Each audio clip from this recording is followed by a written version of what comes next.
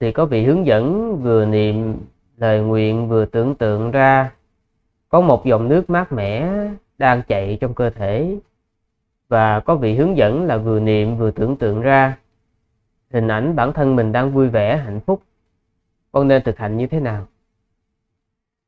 À, khi con thực hành vừa niệm vừa tưởng tượng thì con không tập trung hoàn toàn được vào sự niệm và cả sự tưởng tượng nên tâm con như chạy qua lại giữa hai đề mục vậy Thưa sư cho con hỏi lúc đầu con có nên chỉ tập trung vào sự niệm hoặc chỉ sự tưởng tượng hay không? Hay bắt buộc phải cả phải niệm cả hai cùng lúc? Uh,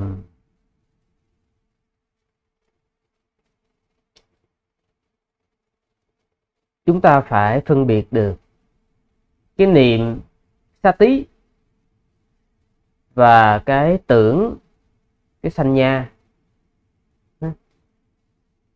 Tưởng đó là những cái um, hồi ức kinh nghiệm ký ức.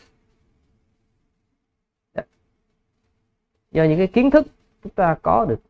Ví dụ như um, chúng ta tưởng ra cái hình ảnh của một cái uh, bóng đèn khi chúng ta nhắm mắt lại, chúng ta tưởng hình ảnh một bóng đèn, thì đó là do cái ký ức của chúng ta đã từng biết một cái bóng đèn, hoặc là do cái hồi ức, hoặc là do kinh nghiệm, hoặc là do chúng ta đọc ở đâu đó, rồi chúng ta có thể tưởng tượng ra một cái bóng đèn. Đối tượng đó có thể có thật hoặc không có thật, tại vì nó là tưởng. Ví dụ như chúng ta tưởng tượng về một cái con rồng ở trong thần thoại, thì chúng ta vẫn có thể tưởng tượng ra được nó. Với đầy đủ mắt tai mũi lưỡi với đầy đủ ờ, uh, vảy với đầy đủ uh, đuôi với đầy đủ uh, những cái sự sinh hoạt. Như vậy. Đó là vấn đề của tưởng. Ừ. Rồi cái vấn đề của niệm đó là gì? Niệm xá tí là sự ghi nhớ. Ghi nhớ cái gì? Ghi nhớ lấy cái đề mục thiền của mình. Ghi nhớ lấy đề mục thiền của mình ví dụ như đối với người thực hành tâm từ, họ luôn ghi nhớ cái sự thực hành tâm từ. Họ luôn ghi nhớ sự thực hành tâm từ. Thành ra đó, cái niệm và cái tưởng đó, nó nó hòa lẫn vào nhau. Như nước với sữa, nó hòa lẫn vào nhau. Chúng ta không thể nào chúng ta tách tách riêng ra Ừ, theo cái kiểu là niệm thì nó ra niệm mà tưởng nó ra tưởng. Sư lấy ví dụ như khi chúng ta cắn một cái miếng bánh thì chúng ta biết được biết được à, trong bánh nó có vị ngọt và nó có vị mặn. Nhưng mà chúng ta không thể nào tách biệt tách thẳng cái bánh ra. Đây là cái bánh ngọt và đây là cái bánh mặn. Trong một cái bánh như vậy mình tách ra tách ra tách ra tách ra tách thì làm sao tách được? Bởi vì bản chất của nó bản chất của cái bánh là cái sự hòa quyện giữa hai vị mặn và ngọt. Như vậy nó mới tạo nên một cái bánh. Mới tạo nên một cái bánh.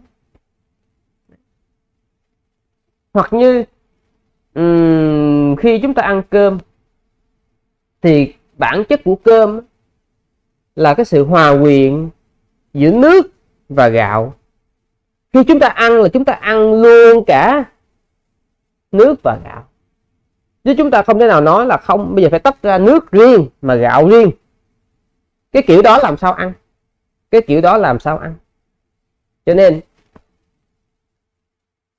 niệm và tưởng cũng như vậy. Bản chất của nó vốn dĩ là hòa quyện vào nhau. Hòa quyện vào nhau uhm, sư lấy ví dụ như uhm, quý vị nhìn đến người cha hoặc người mẹ của mình. Quý vị nhìn họ. Và quý vị mong cho người cha người mẹ của mình được sự an vui. Hoặc khi quý vị nhìn vào cái đứa con duy nhất của mình quý vị nhìn vào đứa con thấy nó mong nó được an vui chúng ta không thể nào tách biệt ra.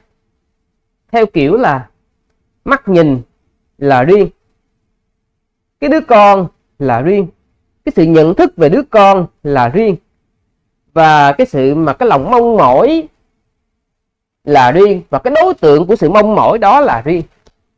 Chúng ta không thể là chúng ta tách, tách ra cái kiểu đó được. Không thể tách ra cái kiểu đó được. Bởi vì khi chúng ta tách ra như vậy nó không còn là cái gì hết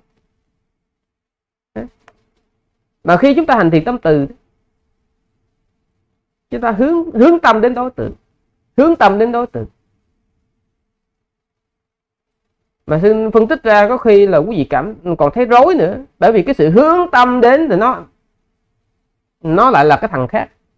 Rồi mình quan sát đối tượng, nó lại là thằng khác. Đấy. Chưa chỉ nói đơn giản thôi. Khi mà quý vị rải tâm từ cho chính mình, hướng tâm đến cơ thể này. Hướng tâm đến cơ thể này. Và mong cho cơ thể này được sự an vui. Bản thân cái việc mà quý vị hình dung cái cơ thể của mình ở trong đầu cái anh tưởng là anh đã làm việc rồi. Nhưng mà không có nên mà mình bận tâm cái chuyện là tách biệt ra tách biệt ra. Đây là tưởng và đây là niệm. Không có nên. Không có nên. Không có nên. Giống như hồi nãy sư nói đó. Khi chúng ta nhìn về cái đứa con của mình, nhìn về cái đứa con duy nhất của mình, nhìn về nó, nghĩ đến nó, mong nó được an vui, mong cho đứa con của mình được an vui.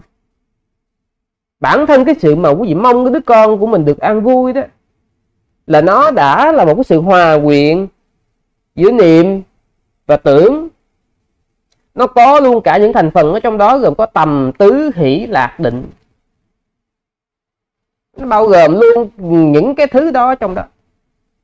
Và chúng ta không có nên tách ra, không nên tách ra. Bởi vì khi chúng ta tách ra thì nó không còn cái gì hết.